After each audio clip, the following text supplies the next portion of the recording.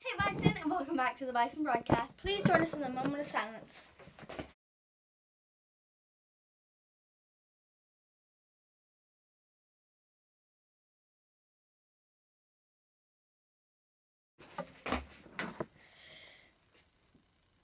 Please stand for the pledge.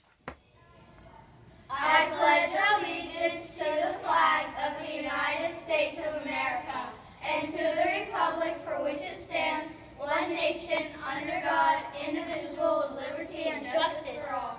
Today is Friday, March 12th. The high is 70 degrees and the low is 56 degrees. Today for lunch we'll have pizza crunchers, breaded chicken sandwich, emoji fries, carrots with ranch, a slushy, and a fruit When we cup. get back from spring break, our breakfast will be sausage biscuit, Lucky Charms, Rice Chex, yogurt, breakfast toast, oranges, and apple juice.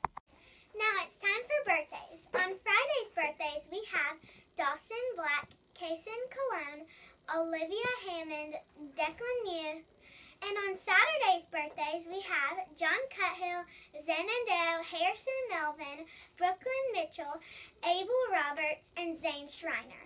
On Sunday's birthdays, we have Haven Austin, Brady Davis, Thompson Lee, and Will Mosley, and Cooper Stand- Standifer. To the front office to get your birthday pencil. And today we have Makeup Bison Bowl, testing schedule, and college day. In the book Out of My Mind, there's a girl named Melody whose words pile up in her head and swirl around like snowflakes, but she hasn't talked a single word in 11 years. Did you know that the letter Q is not in any of the U.S. states? We're two muffins in an oven. It's pretty hot in here. Wow, a talking muffin. Ha ha ha ha. Here's Dr. Mason with your pencils challenge. Good morning, Bison. Thank you so much to our media team. They've done a fantastic job with our Bison broadcast. It's time for our Principals Challenge. And next week is spring break. I know you guys are excited. I know that our faculty and staff are excited just to get to be outside and spend some time with family, do some things that are a little bit different. Your challenge next week, since we are on spring break, is to enjoy a good book. That might be a book with your family. That might be a book you go check out at the library, maybe one that you borrowed from your teacher.